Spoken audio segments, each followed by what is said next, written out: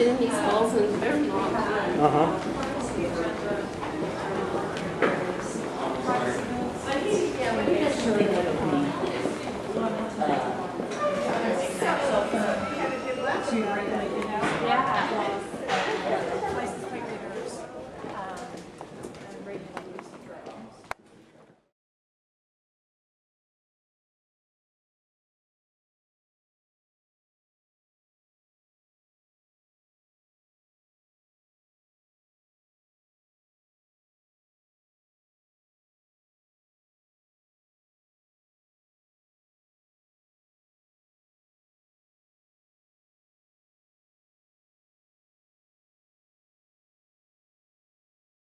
I thought it was interesting. My first impression is that Representative Van Hollen still needs to be better informed and he needs to be pushed and he hasn't really thought through the constitutional issues.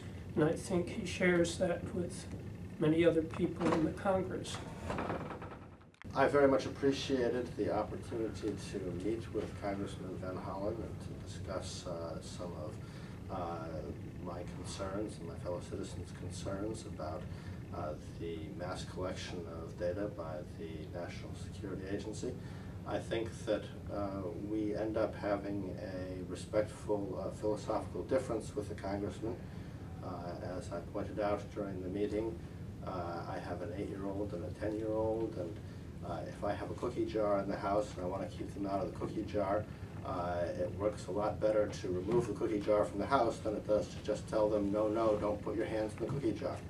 And I think we need to take the cookie jar of uh, data uh, away from the NSA, uh, and uh, they can have a cookie when they can show it's really necessary to defend us and to protect national security, but otherwise they should not have access to all of our data and all of our lives in aggregate.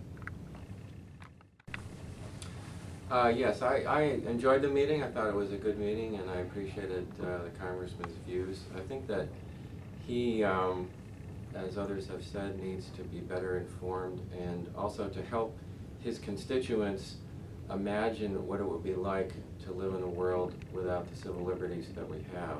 Uh, as I said during the meeting, it's easy for Americans to imagine what a terrorist attack would be like because we're hit with it in the media all the time.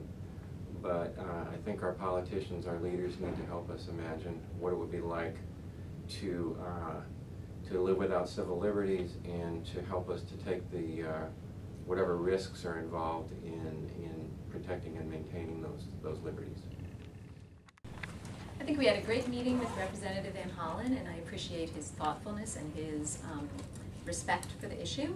Um, appreciate him um, introducing a bill that would provide a constitutional advocate before the FISA court, and I really appreciate his understanding that this is just a piece of the puzzle and that um, that we do need to address the problems with mass surveillance.